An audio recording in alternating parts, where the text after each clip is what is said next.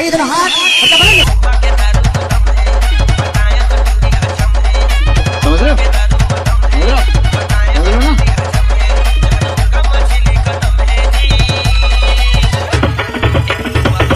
Manish.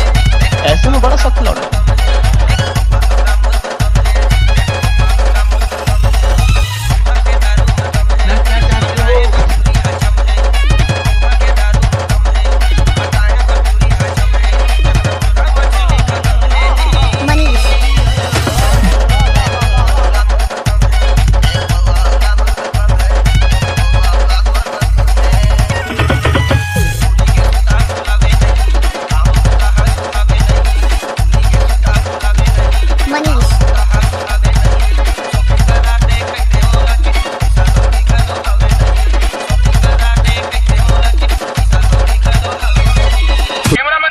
manis.